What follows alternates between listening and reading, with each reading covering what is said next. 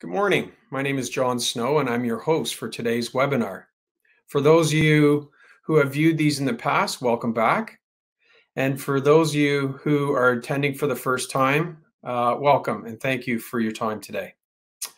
At the beginning of COVID, we decided to uh, start providing webinars as a way to reach out to our staff, our partners, and most importantly, our clients. It's a way of us, a uh, way for us to stay in touch uh, and allows us the ability to share our products and services. Um, during this period, uh, we realized that virtual selling and virtual communication is becoming more common every day. And as such, we plan to continue to provide these services going forward uh, well beyond uh, the pandemic. At the last webinar, we heard from uh, Chris McQueen, who spoke to us about Class 1 product, and Lorraine Langston, who spoke to us about Class 2 product. Uh, today, uh, we have Chris Simtikidis. Chris is going to speak to us about Class 3 product today. Um, class 3 product is now uh, a huge part of our market, representing over 50% of our market across the five classes of trucks. And there is a variety of models, uh, shapes, and sizes that Chris is going to speak to us about today. So, uh, without further ado, uh, Chris, welcome. Uh, just a brief introduction for each one. And if you see something that that piques your interest, that you think might fit your application, or you just have more questions about it, uh, you can reach out to your local Liftow branch and ask to speak to to one of us, you know, your local sales rep, and we'll be more than happy to go into into more detail, more in depth uh, information. So we'll start off with uh, electric pallet jack, uh, also known as a walkie. Uh, our model is the 8HBW23. It comes in a 4,500 pound capacity. Uh, the standard forks for, for something like this is usually a 48 by 27. That fits, you know, most pallets that are being used out there, whether they're the the blue CHEP pallets. Uh, most pallets are 48 by 40. So these are good forks. If you need something different because of your application, certain printers. I know uh, some industries use specific pallets that are, you know, for their for their industry only. Uh, there are various forks that come with it, different lengths and also different uh, width settings, overall outside dimensions. So we can help you there. Um, there's an electronic brake release on that. What that is is if the truck does fail for whatever reason, uh, and it's stuck in a, in a trailer uh, stuck in your in an aisle somewhere that's not convenient for you, uh, the electronic brake release will allow you to literally just pull it away, similar that you would do with a, with a pump truck. Uh, you're not going to use it to operate anymore. It's just really to get it out of the way until you can get a technician on site. So that's a nice little feature for you. Um, also, uh, talked about the the fork length. So there's also backrest. So if you have loads that aren't as stable as you'd like them to be, you can order backrest for them up to 72 inches long. If you have a, you know, more um, uh, rough application, um, if you work in freezers or or coolers, there is cold storage options that you can add to this unit.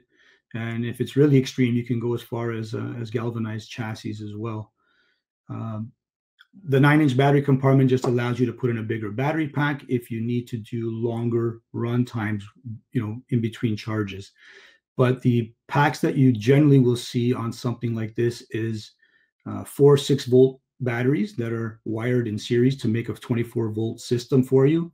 They typically will have uh, an onboard charger with a 110 plug-in, 110 volt plug-in. So you can pretty much plug anywhere in the in the warehouse. Uh, even if you take the truck, uh, take the pallet truck on a delivery truck, and you're you know you're waiting somewhere else, and they're kind enough to let you use their their power, you can do so there too. So the charger is an opportunity charge, and you can you can charge as you need it. So we don't want you draining it with this type of system. Um, and you're going to have a flooded lead acid battery, which is the least expensive way to go.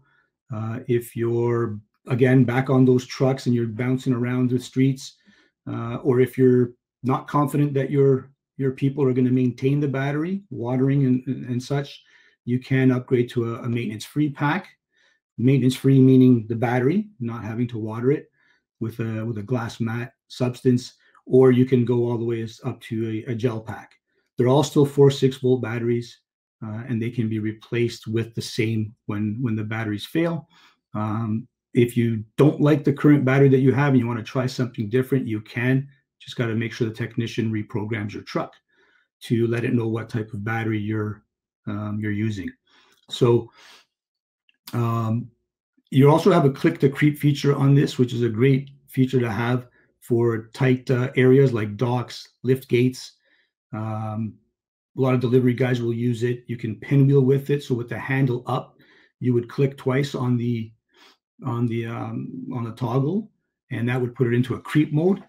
And then you can actually operate that with the handle up in uh, in an 85 inch aisle. So very versatile and very slow. So it's very safe. And then when you want to come out of it, you just leave it 10 seconds later, it'll go back to normal speed, or you can click back out of it with two more two more clicks on the throttle. Okay. Um, so that's some of the features on it. And if if um, the Toyota product is a little bit out of your budget, um, or if all you've ever used really is pump trucks, you're a very light duty, low volume type of business, um, but you're just tired of pushing things around manually, then a good entry level machine would be the Tora-Max. Uh, it is a Toyota product. Uh, this particular one is made in Taiwan. Uh, so the I wouldn't want to say like you know the quality isn't as good, but the fact is that it's not. So you know Toyota's Toyota, and if you want the best, that's what you're going to go with. It's going to be a lot smoother. It's going to be a lot quieter. Um, you're going to have better warranty with the Toyota product, and some of the parts are are different, and that's better as well. But like I said, if you've all if all you ever had is a pump truck, then for you this is this is just perfectly fine, and it is a little bit cheaper as well, so it helps you out with your budget. Um, a little bit less on the capacity, 4,000 pounds versus the 4,500. Same forks. Uh, with this one, you have the option to choose 42 inch forks, but that's it. Um, there's not going to be, I mean, you can change the different battery packs after these ones fail, but coming from the factory, you're only going to get the wet cell option. However, it does have a watering system on this particular model. So we would provide you with the watering gun. You have to provide your own hose and you could you can water this pack uh, directly using the the watering system. So it takes away a little bit of the of the manual labor. Um, I would not recommend this to a customer who already has used uh, Toyota product in the past, just because I think they're they're comparing it to it. They're not going to be as happy as the Toyota product. I, I, repeat myself again that if they've never owned one, uh, they're not sure if they need one you know they just want to give something a shot, then that's when I would uh, try and provide this to a customer. And if you're a customer out there listening, same thing. You know, it's it all depends on your comfort level and your and your budget. Uh, if you're looking for something a little bit heavier, you're going to step up to the 8HBW 30, 6,000 pound capacity. Um, operates the same way. It's a walk behind. The uh, it's just built a little bit, you know, more durable. Obviously, having to to handle the 6,000 pounds. Uh, there's there's greasable bearings on this that you can you can order different uh, different wheels and load wheels that you can order as well depending on your application. And the battery compartment is a 13 inch as standard, and you can go to a smaller one if if you know you're trying to get to a slightly smaller aisle width. You can get down to uh, I believe it's a seven and a nine inch battery compartment, but usually you're going to see this because otherwise you'd be going back to the HBW 23 really. Um, rather than paying the, the price difference. So this is more if you need that 6,000 pounds really. Okay. And you can order it rather than with the key, you can order it with the keypad, just like on the 8HB23. I didn't mention that. Uh, it is keypad controlled so that you can have different pin numbers for different operators, keeping people out uh, of, of use for people that aren't certified or you don't want, you know, drivers, visitors showing up at your place and trying to use your equipment. Okay. And uh, after that, if you're getting into bigger warehouses, distribution centers where there's long runs and you don't want to be walking, it's all about productivity. Uh, so anything like you know over 75 feet, you know you don't want to be doing that back and forth all day. So you're going to move up to the end rider. So uh, operates the same as the as the walk behinds. that you that we just saw, the 6,000 pound, but you're going to have a solid platform on the back. You can ride it from either side. So if you're left or right-handed, doesn't matter. Uh, for those long runs, you've got the the grab handle, uh, and it's got controls on it as well. So you have a little stability stability arm there to hold on to. Uh, does come with power steering as well as an option, which I would highly recommend. And if you're going to use it uh, as a picker, uh, there is an option to have a, a coast control and, and, jog buttons on there. So you can actually lock that handle down because it does have to be down in order for it to, to operate and move forward. So you can lock it down and just hit the jog buttons and literally bump it along the the row as you're as you're picking. So you don't have to constantly, you know, either step up onto the platform or grab the handle and bring it down. So just Toyota thinking about you know ergonomics and and repeat motions of, of your your hand and shoulders. Uh, so that'll help you out with that. And then there's a bunch of different uh, batteries that you can that you can choose there depending on your shifts and and run times that are required.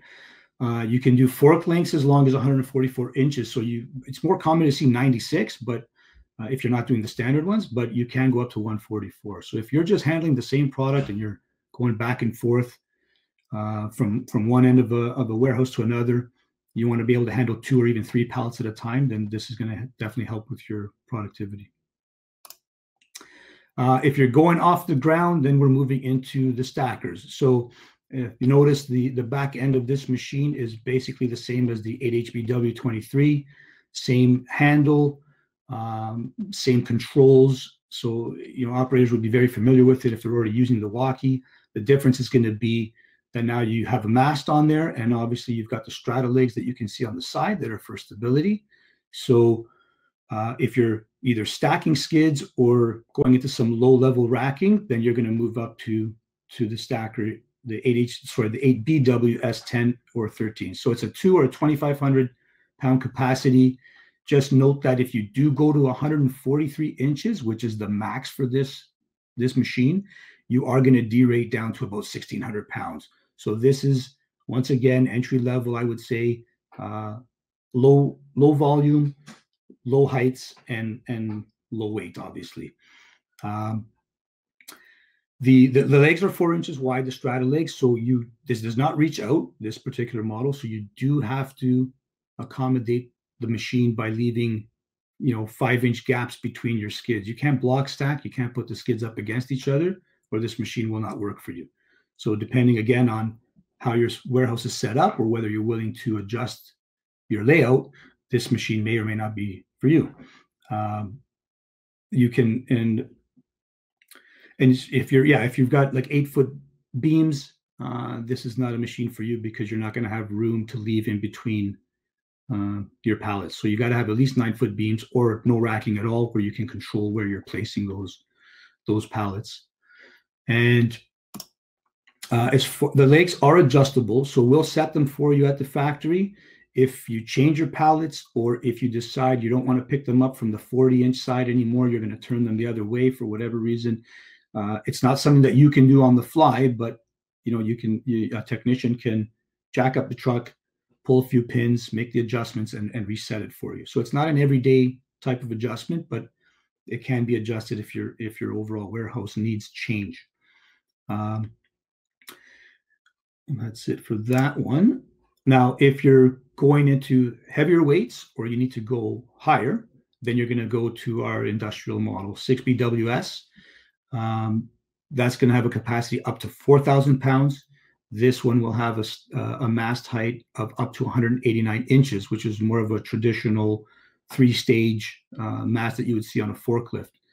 So it'll allow you to go to you know three high, maybe even four high, depending how tall your your, your pallets are. Uh, so it's a lot more flexible in that regard.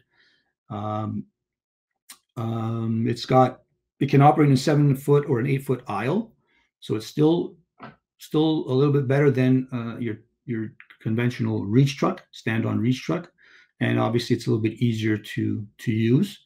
So, but again, going back, you know, comparing it to the class two stand on reach truck, this is going to be for once again lower uh, lower volume where productivity is not you know the main thing you're looking for you're just looking to be able to get heavier stuff off the ground and, and stacked or into racking. Um, you can you can get industrial batteries for this one as well. So you're gonna look you're looking at longer run times than your you know your APWS. Uh, and sorry, and going back to that one, if I can just do that. This one here, you you want to make sure that we're ordering uh, maintenance-free batteries for you because the there's no way to get in and swing the six volt batteries out in order to water them because the mast is there. So the only if you do get water batteries, you're you're gonna have to pull the whole pack out, and that's not something that you want to do. So with this machine, um, you're also able to get a side shifter, which on the entry level one you cannot. So if that's important for you as well, makes it a little bit easier to operate the the machine, in the, especially in the tighter aisle, so you're not going back and forth. Um, after that, if reaching is required, you can upgrade to the 6BW R15. It comes in a 3,000 pound model only. It can operate in eight foot aisles.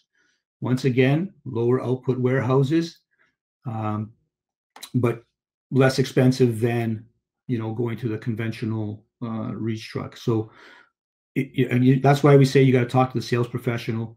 Let us figure out what your volumes are like, what you, what kind of you know productivity you're looking for, and you can save yourself some money and and stick to a reach truck. Sorry, to a stacker versus spending the extra money on on a reach. Um, I think another slide here. Yeah. So very important on this one is that you cannot adjust the legs. They are welded to the body. You get one shot at it. You know, make sure that you know what you're using. Sales reps, make sure you know that you're you're measuring correctly uh, based on the customer's needs. Because once this is built, your those are those are your legs. Okay. Uh, if this is very rare, um, I've never sold one. I've been here, you know, 14 years, um, but it's still out there, and it's a great option if the stacker doesn't work for you because of the straddle legs, and uh, a forklift doesn't work for you because you just don't have that 10 and a half, 11, 12 foot aisle for uh, you know three and four wheel trucks. Then this counterbalance stacker, you notice there's no straddle legs.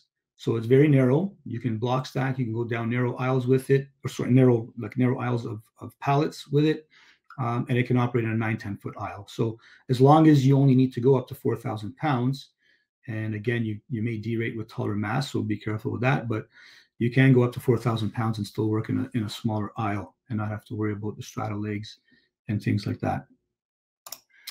Um, moving on to back to the ground, so no lifting here, is our 24 volt tow tractor, uh, capacity of 10,000 pounds, uh, multiple hitches depending on what type of cart you might be carrying, and if need be, we can we can and you know have done in the past customized hitches to to match up to whatever it is that you're pulling. It could be a single cart, it could be a, a train of carts. Um, you'll see these in again long distance hauls where you're moving product from one end to another, whether it's uh, supplying, uh, bringing finished goods to to receiving, maybe to shipping, or or um, you know bringing supplies uh, to different lines, you know things like that. Um, it's stand up rider, it's power steering, uh, you know very versatile, tight turning. Uh, and you can you can walk through it. So if you're riding along a wall on one end, you know you can park it, jump off on the left side, jump on the right. So you're not limited in that sense. Um, if you're to be if you're to be working with something a little bit heavier, so again, because of capacity, you can go to our 48 volt truck. This one I've seen like in post offices, uh, automotive places where again they're making long runs. You can have you can have tool cribs on the back uh, as well as the you know the train that you're pulling. So it's it's versatile in that sense.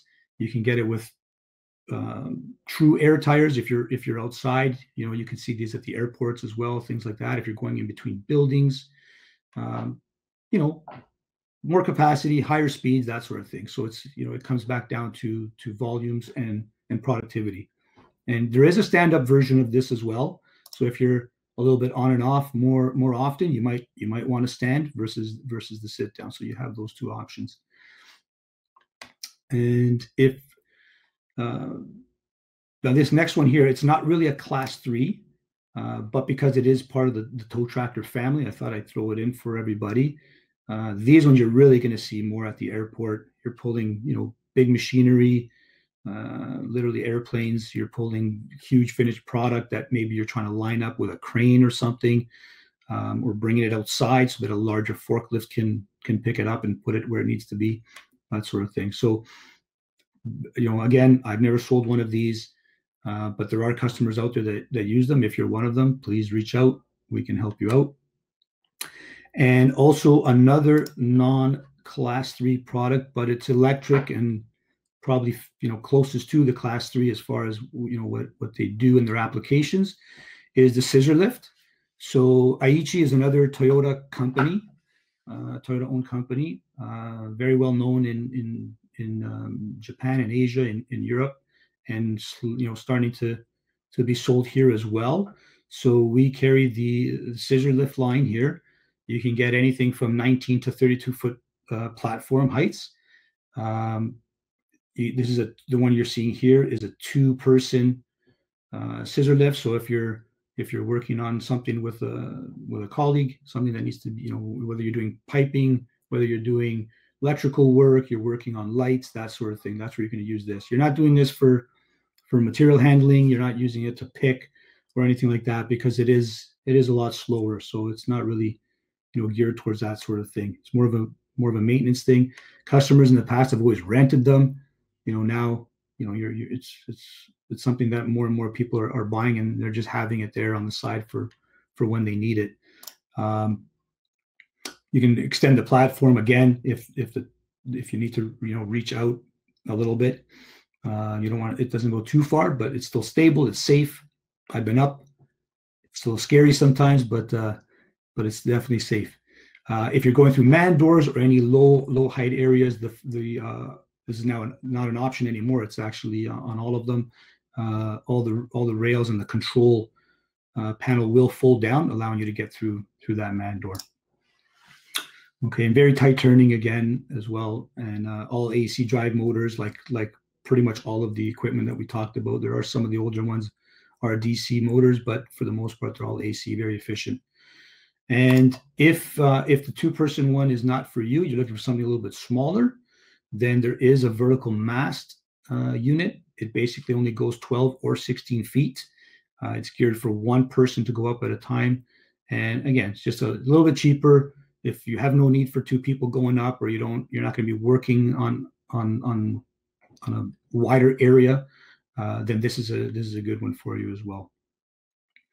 Um, and that's uh, that's it for all the class three product. Again, there's quite a few models. Um, there's a lot more information about each one. If if we've piqued your interest, if you think it might be something for you, um, but you're not 100% sure, then ask us to come out.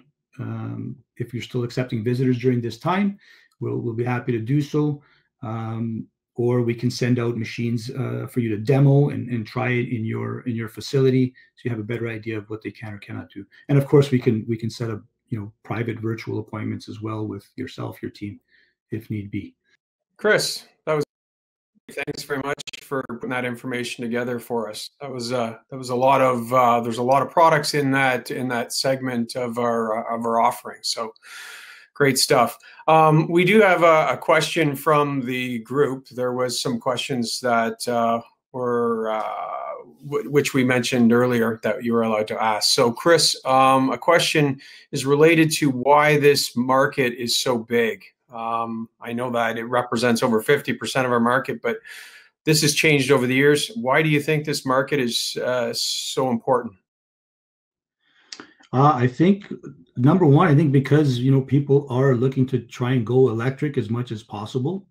Uh, you know, for for the environment, for for their own environment in their in their warehouses where they're you know people are working, um, and also they're realizing that you know maybe everybody doesn't need a forklift uh, and and you know make it work in their environment. There are smaller pieces of equipment that can work specifically for their application uh, they're less expensive, um, and and especially for the the mid to small sized customers who don't have the, the need for for volume and, and productivity. Right, not that they don't want to be productive, but they just don't have the need to to go to that bigger, faster machine to get the job done. They're they're more than able to do it with a stacker, with a walkie, you know, things like that. So definitely.